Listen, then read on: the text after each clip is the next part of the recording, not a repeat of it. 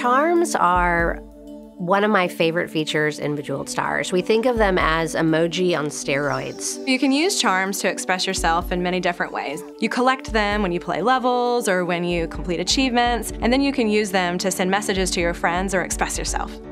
So charms come to you via treasure chests. So treasure chests drop on the board, you open them up, and there will be a random charm inside.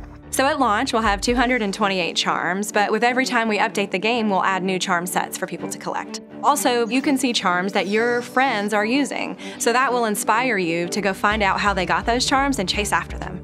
It really makes me feel like I can have meaningful social interactions with my friends. We always want to give people the sense that something surprising and different and exciting might be coming.